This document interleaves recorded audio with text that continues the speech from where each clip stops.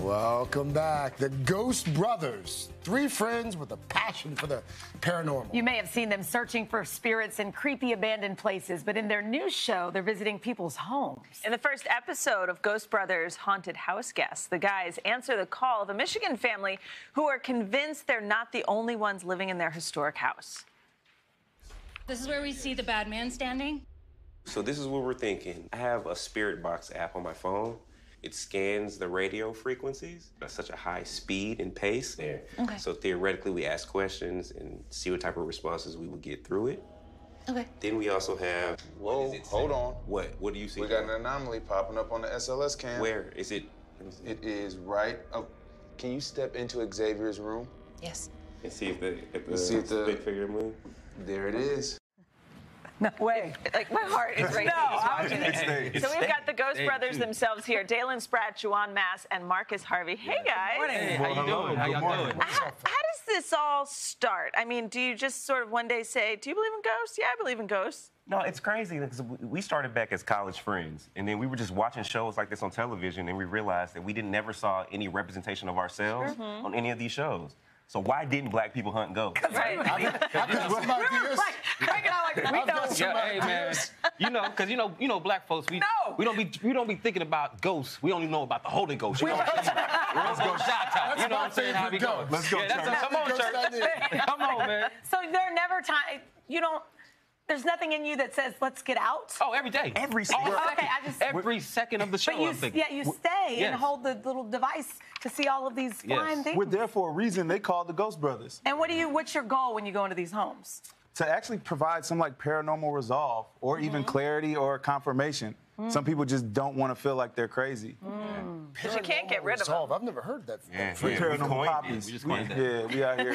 Paranormal resolve. So, th- what's the craziest thing that you guys came across? Hmm. You know what's interesting? season. Not to give too much away, but we have a really, really, really interesting case where a woman and her husband buy a bed and breakfast. The husband ends up passing away. And she marries again, and the new husband is oh. now owning the bed and breakfast. she so now there's this conflict. Hey man. we don't know if it's conflict. he, hooked him up. he might have hooked him up. Maybe he was like, Just so be. wait, the new husband feels. Oh no, he feels him. He feels Oh, he knows he's there. Yeah, Here's- the old How did, there. how did the first husband die? Natural causes? We didn't ask all that. We yeah, really didn't yeah. ask all that because we don't want to know if that's Too many questions involved. Yeah. You don't want to ask those things. plausible deniability. We try to stay this away. has been years in the making. I was reading, Juwan, you had a scary moment in a graveyard. You were about 12 years old. What yes, happened? that did occur. Uh, in a small town in Mississippi, uh, my grandmother lives across from a cemetery. Okay. And so I used to, with the kids in the neighborhood, we used to dare each other to run through the graveyard. Of course. We gotta have nothing else to do, man. Nothing else to do. No basketball, no football. um, so I found myself running through this graveyard in the middle of the night, and I felt like something was chasing me. And I turned around and I didn't see the other kids that I was with. So at that moment, like you have this energy behind you, and you feel like you can't outrun it. But I guess I kind of turned that around from Wow. being chased by ghosts to chasing, Chasing ghosts. ghosts. Wow. And Dalen, you actually saw an apparition when you were younger. Yes, ma'am. Uh, at my grandmother. And why does it always happen at your grandmama's house? Hey, y'all grandmamas- my, mom, my grandma didn't play that. My grandma didn't play that. My grandma didn't play that. But now mine, I was in West Texas, and a, a friend of the family ended up uh, killing himself, right? And uh, my grandmother took us to the funeral home to view the body, her and her friend.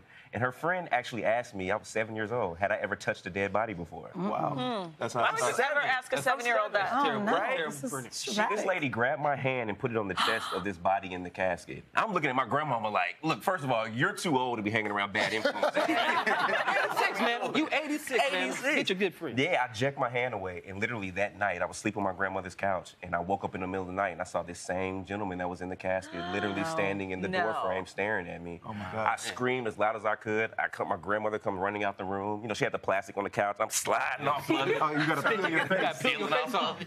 Yeah, man, but it was seriously Oh the my goodness. craziest experience I've ever And seen. now look at you guys. You have a show. You guys I feel like you're still. Hey, We're man. out of time. What am I doing Ghost You guys are such a fun group. Hey, You are so you. fun. Thank you so much for being here. Ghost Brothers Haunted House Guest premieres this Friday on Travel Channel. We're out of time, Craig.